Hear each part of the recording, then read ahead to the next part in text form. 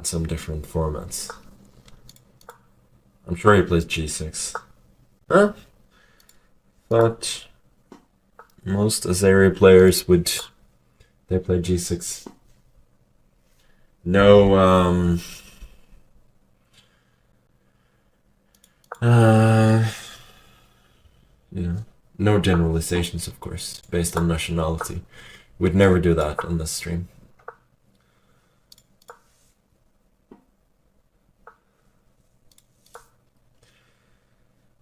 Um, is it people do here? Queen d3 maybe? I feel like I've had this as... I feel like I've had this as, um, as black in some game recently, or fairly recently. The idea is to meet this with knight b5. Oh, so this makes a lot of sense. Can I go like knight a2? And then a5?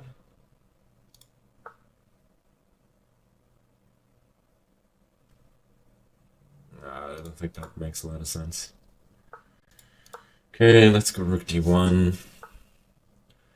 Really don't know what my plan is here.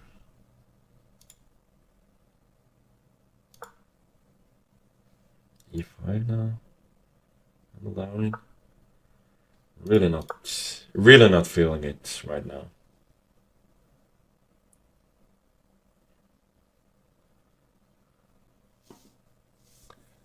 Howdy from Colorado. My volume is fine, I'm just too far away. Hmm. Hmm. Yeah, whatever. Uh, we'll try and fix it after after this game during the break. Meanwhile, in this game, I'm just worse with white, but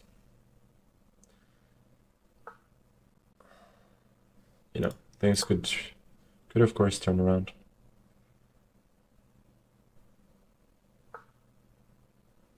Preparing knight g4, I think.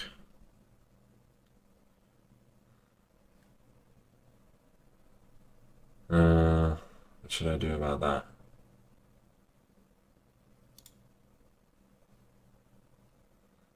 Knight b1 maybe. Yeah, maybe I'll just go knight f1. But I don't like this one bit.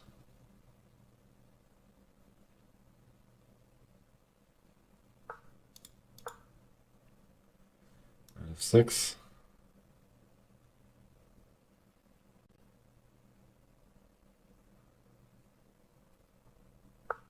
Just have a poor position without a lot of counterplay.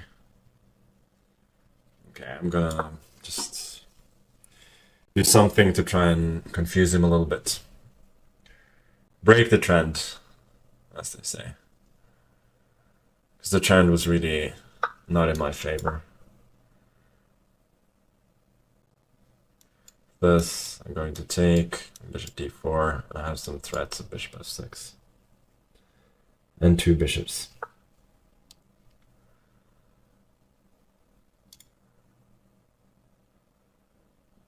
Uh, okay, bishop a6.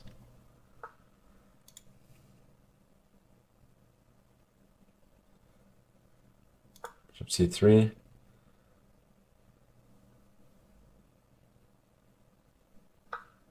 Yeah, I was hoping he would take this. I think he could have taken on a4 and gotten another pawn.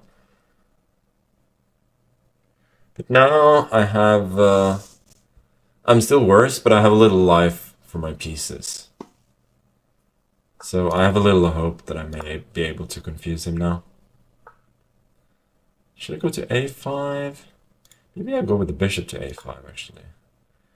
A little um, Zwischenzug there. Is that a Zwischenzug?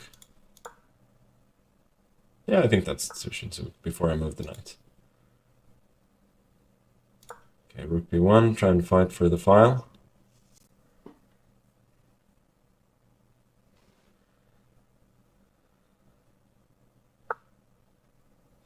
Knight h7, yeah, that's a good move.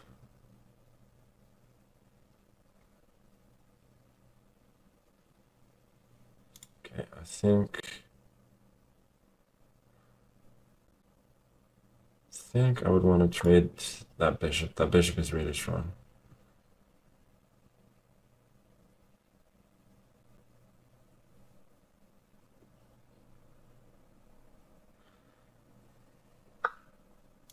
He could have taken on b1 and then f1, then I would have had to give up another pawn. But it would have been pretty risky strategically for him. Because my rook would invade on the on the b file. And here I think I'm gonna give up the h2 pawn and just go for it on the on the queen side.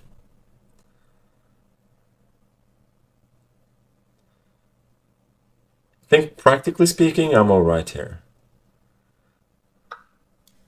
So he goes for goes for the second pawn, but now I am going to win c6 and I am going to win uh, a7. So it becomes it becomes a race, which in which it seems to me that I'm ahead at the moment. Okay, so I'll move the knight first. Don't know if I need to take, but I will.